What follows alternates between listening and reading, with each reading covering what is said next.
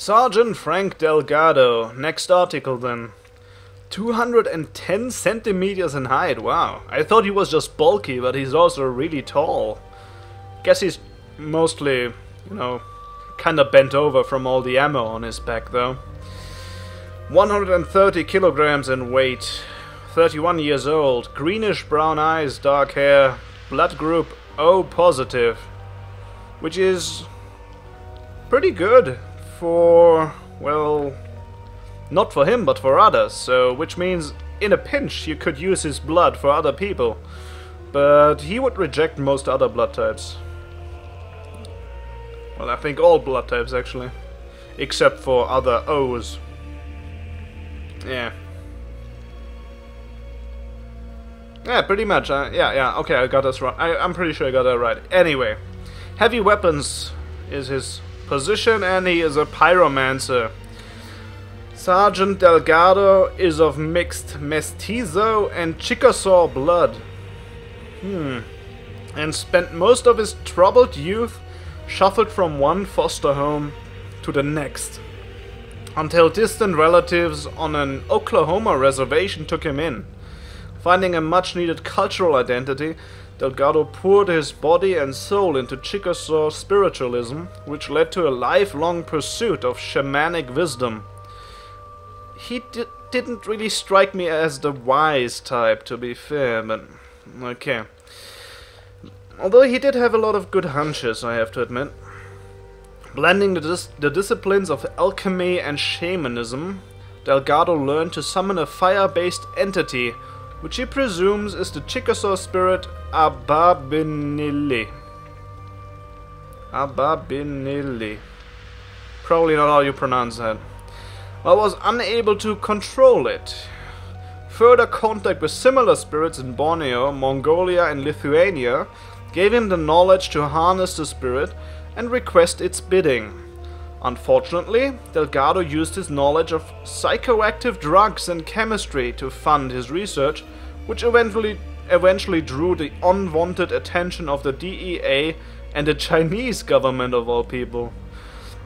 He was less than 24 hours from execution in Beijing when the Department of Occult Warfare pulled strings to liberate him. In return for his life, he was signed on with the Jericho Squad and trained in occult warfare.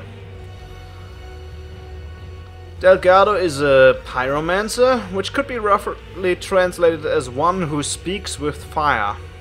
In Delgado's case, the fire he speaks with is an entity of living flame that he says is Ababinili, a Chickasaw flame spirit. After contacting the spirit, Delgado offered it his right arm as a sacrifice to win its cooperation, which it accepted. The creature of living flame now lives as a parasite on Frank's arm during missions, encased and contained in a large metal sleeve that is covered in arcane symbols, courtesy of Sergeant Church, and is curiously warm to the touch. In combat, Frank opens the containment sleeve and releases Ababinili, where he immediately sets to wreaking as much havoc as possible before he is forced back into containment. When loose, Ababinili responds usually to Delgado's commands and so becomes a formidable tool and weapon.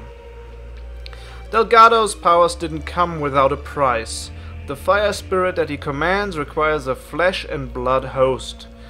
So Delgado has sacrificed his own arm to feed it.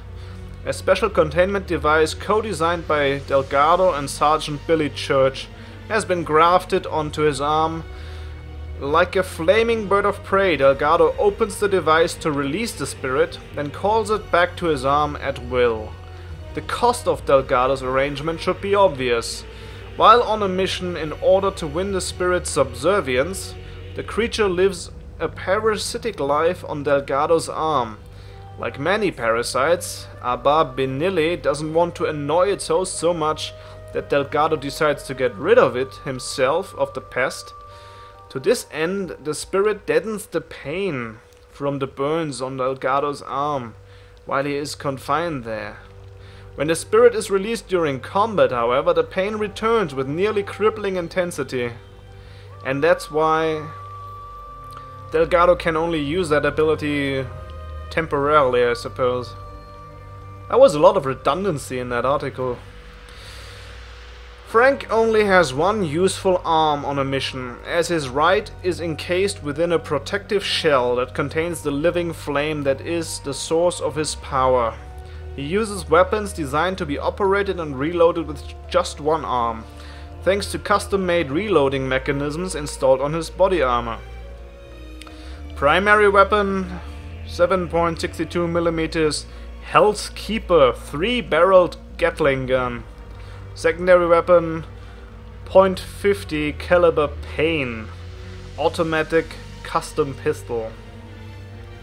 Before making his deal with the fire entity, Delgado was deeply spiritual, a true shaman.